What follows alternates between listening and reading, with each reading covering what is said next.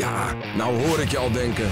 Weer een klusprogramma waarin een paar van die handige harries in een uurtje of wat van een of ander afgetrapt schuurtje een paleisje weten te toveren. Wat is dit gaaf. Dit is niet normaal. Inclusief van die foute grappen, Doe je charretelletjes even aan. een spannende deadline, Morgenmiddag klaar.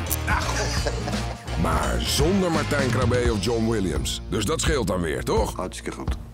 Wie we wel gaan zien, dat is Richard. Richard, die... eh, Richard... eh, Richard werkt voor Hornbach dames. en is regelaar voor bouw- en renovatieprojecten. Ik zeg altijd, hij kan sneeuw en Eskimo's verkopen.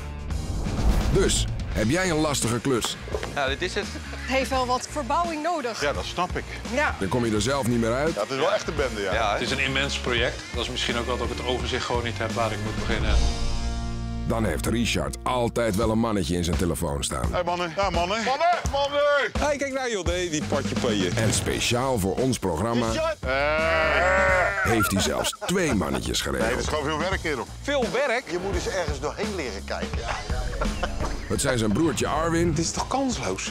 Arwin is gewoon een handige donder. Je ziet iets en het gaat gelijk gaat dat los. Is toch grappig? De Black Pearl. Durf je het dan? Ja hoor, met jou als kapitein. Ah, jongens, instappen. en deze doldwaze grappenmaker, In het raadje, hè? Hoi Ed. dat is het. Ed moet je geen druk op de ketel zetten. Ed moet je laten gaan. Jongen, jongen, Ed moet je even laten opstarten. Laat ons met rust. Ed moet je lekker wat koffie geven.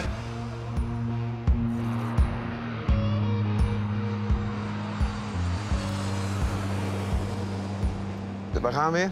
Ja. En dan komt het helemaal top. Weet je, samen hebben we een prachtig team. Jongens, goede klus klauwen.